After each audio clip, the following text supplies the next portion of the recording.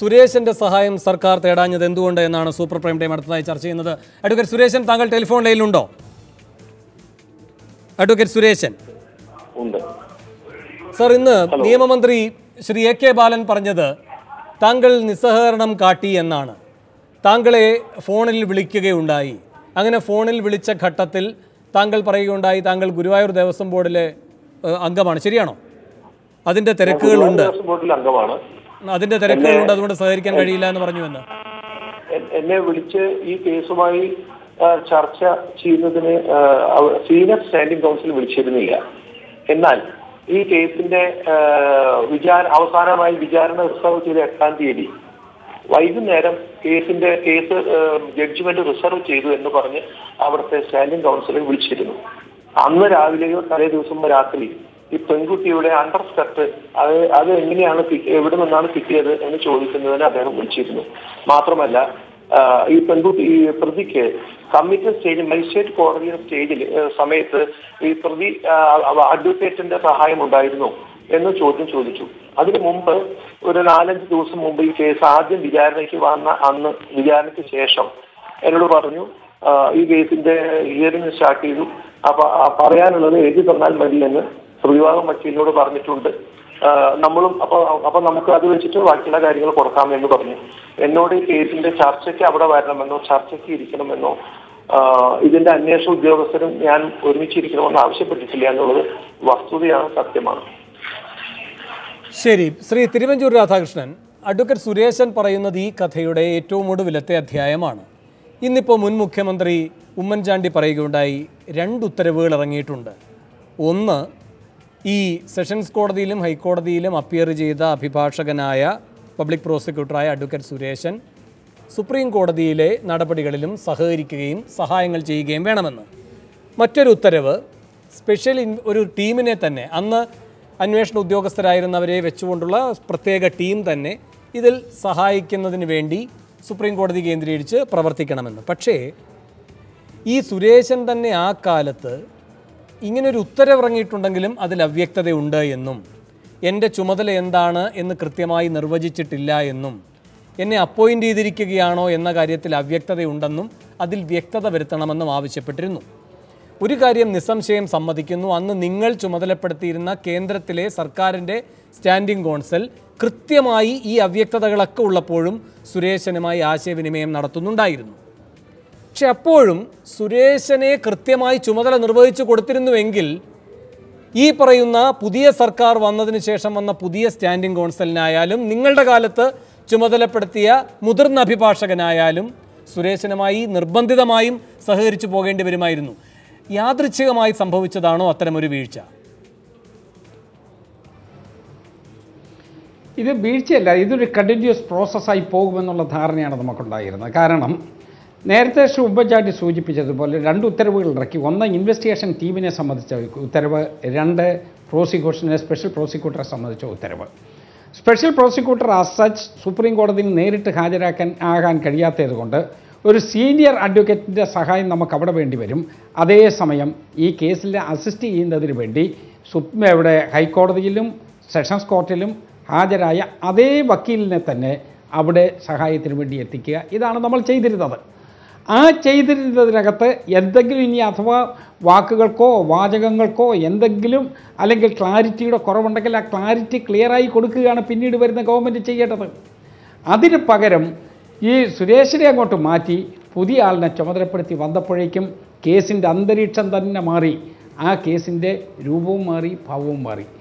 സത്യത്തിൽ ഗവൺമെന്റ് ആഗ്രഹം എന്തായിരുന്നു? താഴെ ഉണ്ടായിരുന്ന ഈ വിധ വധശിക്ഷ അത് കൺഫേം ചെയ്യണം. അത് കൺഫേം ചെയ്യുന്നതിന് വേണ്ടിയുള്ള ഇൻവെസ്റ്റിഗേഷൻ ടീമും വേണം അതേ പ്രോസിക്യൂട്ടർ സ്പെഷ്യൽ പ്രോസിക്യൂട്ടറും വേണം. ഇത് രണ്ടും ചെയ്യുന്നതിന് വേണ്ടിയുള്ള നടപടികളാണ് നമ്മൾ എടുത്തത്. ആ നടപടികളാണ് കറക്റ്റായ നടപടി. ഇതിൽ മാത്രമല്ല മറ്റ് ചില കേസുകളിൽ കൂടി. ഞാനിപ്പോൾ ഓർക്കുന്നു എന്റെ ഓർമ്മ കറക്റ്റാണെന്ന് ഒരിക്കൽ ഇവിടെ വാമനപുരത്തിന് തൊട്ട വെഞ്ഞാറമ്മൂട്ടിൽ ഇതുപോലെ ഒരു പെൺകുട്ടി ഒരു പത്താം ക്ലാസ്സിൽ പഠിക്കുന്ന കുട്ടി ആ കുട്ടിയെ ബലാത്സംഗം ചെയ്തു കൊന്ന മറ്റൊരു കേസ് ഉണ്ടായിരുന്നു. നമ്മൾ അവിടെയും ചെയ്തത് തന്നെയാണ്. എവിടെ? താഴത്തെ തലത്തിൽ കേസ് നടത്തിയിരുന്ന അഭിഭാഷകൻ. അദ്ദേഹത്തെ തന്നെ മേളിൽ അസിസ്റ്റ് ചെയ്യുന്നതിന് വേണ്ടി നമ്മൾ നിയോഗിച്ചു. അത് നിയോഗിച്ചത് ഈ കേസ് ജയിക്കുന്നതിന് വേണ്ടിയാണ്.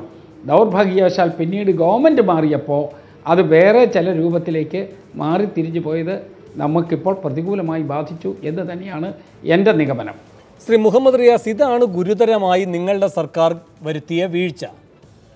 ഇവിടെ ഈ സുരേശനെ ഏതൊക്കെ രൂപത്തിലാണ് ഇതിന്റെ ഭാഗമാക്കി നിലനിർത്തിയിരുന്നത്? കഴിഞ്ഞ സർക്കാർ എന്നത് ഉത്തരവുകളുടെ അടിസ്ഥാനത്തിൽ തന്നെ ഉമ്മൻചാണ്ടി സ്ഥാപിച്ചിട്ടുണ്ട്.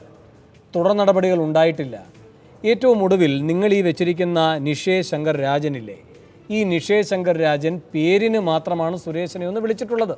ഒന്നോ രണ്ടോ സംശയങ്ങൾ തീർക്കുന്നതിന് വേണ്ടി. അപ്പോൾ എന്തുകൊണ്ടാണ് ഇത്ര വലിയൊരു കൃത്യവിലോപം സംഭവിച്ചത്? ഞാൻ ഒരൊറ്റ കാര്യം കൂടി പറഞ്ഞതിന് ശേഷം അങ്ങേക്ക് മറുപടി പറയാം. ഇവരൊക്കെ ഇത്തരം കാര്യങ്ങളിൽ പ്രധാനികളാണ് സാർ. ഒരു സെഷൻസ് കോടതിയിൽ ഈ കേസ് വാദിക്കുന്ന പബ്ലിക് പ്രോസിക്യൂട്ടറാണ് ഈ കേസ് ഏറ്റവും നന്നായി പഠിച്ചിട്ടുണ്ടാവുക.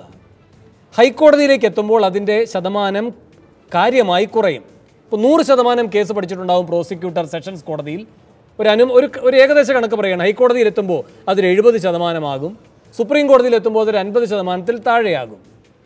പക്ഷേ ഇവിടെ സുരേശനെ തന്നെ ഹൈക്കോടതിയിലും എത്തിക്കുക വഴി അന്ന് വേണമെങ്കിൽ ഡയറക്ടർ ജനറൽ ഓഫ് പ്രോസിക്യൂഷൻ ആകാം.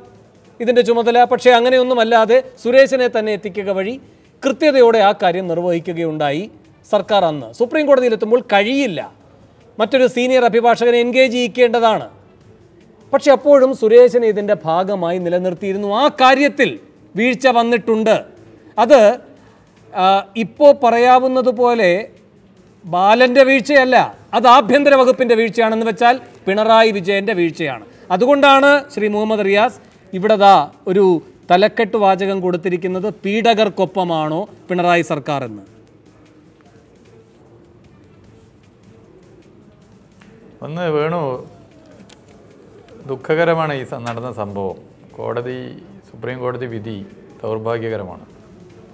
നമ്മുടെ നിയമ സംവിധാനത്തോട് ജനങ്ങൾ സമീപിക്കുകയും അതിന്റെ വിശ്വാസ്യതയിൽ വലിയ കോട്ടം വരികയും ചെയ്യുന്ന രീതിയിലേക്ക് ഇത് മാറിയിട്ടുണ്ട്.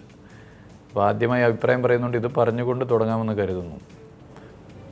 ഇത് ഏതെങ്കിലും സർക്കാരിന്റെ പോരായ്മ കൊണ്ട് സംഭവിച്ചതാണെന്ന് വേണമെങ്കിൽ വാദിച്ച് വരുത്തി തീർത്ത് നിലവിലുള്ള സർക്കാരിനെ പ്രതിക്കൂട്ടിലാക്കാം. ഇന്ന് പലയിടങ്ങളിലും കേരളത്തിന്റെ മുഖ്യമന്ത്രിയുടെ കോലം കത്തിച്ചിട്ടുണ്ട്. അതിന്റെ പിന്നിലൊരു പൊളിറ്റിക്സ് ഉണ്ട്. ഇത്തരം സംഭവങ്ങളെ അങ്ങനെ രാഷ്ട്രീയവൽക്കരിക്കുന്ന രീതിയോട് കേരളത്തിലെ മഹാഭൂരിപക്ഷം ജനങ്ങൾ യോജിക്കില്ല. മറിച്ച് ഇത്തരം സംഭവങ്ങൾ സൗമ്യമാർ ജിഷമാർ നമ്മുടെ സഹോദരിമാർ നാളെ ഈ രീതിയിൽ പീഡിപ്പിക്കപ്പെടുകയോ ബലാത്സംഗം ചെയ്യപ്പെടുകയോ കൊലപ്പെടുകയോ പൊതുതത്വം കേൾക്കേണ്ട മുഹമ്മദ് റിയാസ് ചോദ്യത്തിന് നേരിട്ടുള്ള മറുപടി. സുരേഷനെ ഉൾപ്പെടുത്താഞ്ഞത് എന്തുകൊണ്ട്? ചോദ്യത്തിന് നേരിട്ട് മറുപടി പറഞ്ഞു കഴിഞ്ഞാൽ ഈ ആദ്യം ഞാൻ വിശദീകരിച്ച കാര്യങ്ങൾ പറയാതെ പറഞ്ഞു കഴിഞ്ഞാൽ എന്താവും അതിന്റെ ഭവിഷ്യത്ത് എന്ന് നന്നായി അറിയുന്നത് കൊണ്ടാണ്. വേണുവിനെ ഒരു ആങ്കർ കൈകാര്യം ചെയ്യുന്ന വിഷയമായതുകൊണ്ട് നന്നായി അറിയുന്നത് കൊണ്ടാണ് അത് ഞാൻ വിശദീകരിച്ചത്. അത് വിശദീകരിച്ചുകൊണ്ട് മാത്രമേ ഇത് പറയാൻ വേണ്ടി പറ്റൂ. അതുകൊണ്ട് ഇതിൽ പൊളിറ്റിക്കലി ഗെയിൻ എന്നുള്ളതിനപ്പുറത്തേക്ക് നാളെ ഇത് ആവർത്തിക്കാതിരിക്കാൻ എന്ത് ചെയ്യാൻ വേണ്ടി പറ്റുമെന്നുള്ളത് തന്നെയാണ് പ്രശ്നം. ഇവിടെ കേരളത്തിന്റെ നിയമ വകുപ്പ് മന്ത്രി ഇതുമായി ബന്ധപ്പെട്ട് പറഞ്ഞ കാര്യമുണ്ട്. അദ്ദേഹം അഡ്വക്കേറ്റ് സുരേഷിന് ഇതുമായി ബന്ധപ്പെട്ട് സഹായത്തിന് വേണ്ടി ആവശ്യപ്പെട്ടിരുന്നു. അതിന് രേഖകളുണ്ട് എന്ന് പറഞ്ഞു എന്ന് ഞാൻ മനസ്സിലാക്കുന്നത്. ഞാനിന്ന് ടെലിവിഷനിൽ ഒരു തവണ അത് കണ്ടു.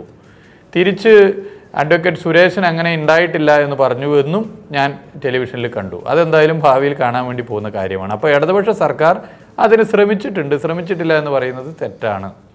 രണ്ടാമത്തത് ഇവിടെ വളരെ ഗൗരവത്തോടു കൂടി കാണേണ്ട ഒരു വിഷയം ജില്ലാ കോടതിയും അതുപോലെ തന്നെ ഹൈക്കോടതിയും കൊല നടത്തി എന്ന് കണ്ടെത്തിയ ത്രീ നോട്ട് ടു അംഗീകരിച്ച ഒരു വിഷയത്തിലാണ് സുപ്രീം കോടതി റേപ്പ് നടന്നു പക്ഷേ ത്രീ നോട്ട് ടു ഇല്ല എന്നുള്ള നിലപാട് കൈക്കൊണ്ടിട്ടുള്ളത്.